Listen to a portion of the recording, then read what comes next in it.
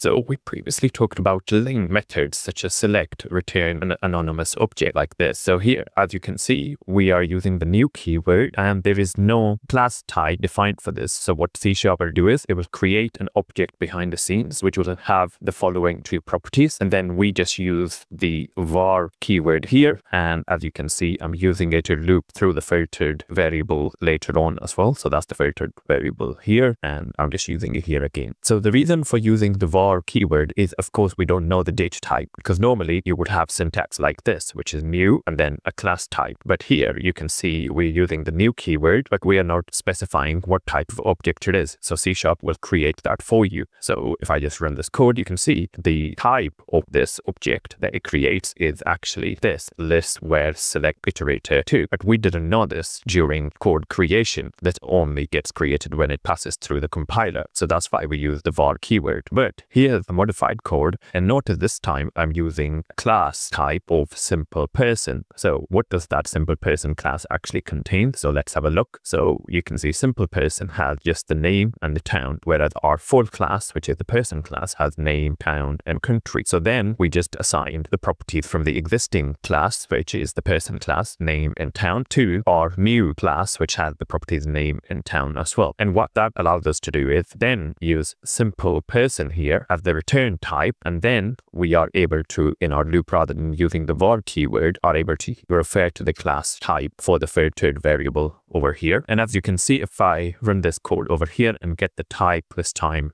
so let's run this and find out what type we get. And as you can see, we get type of simple person, whereas previously we've got an anonymous type. So as you can see here, when I try and get the type of this, we get anonymous. But as you saw before, that we get simple person rather than anonymous because we can use the simple person class over here. And we have, rather than just returning a new object like this, we can actually return a simple person class type and not have to use the var keyword in situations where we desire.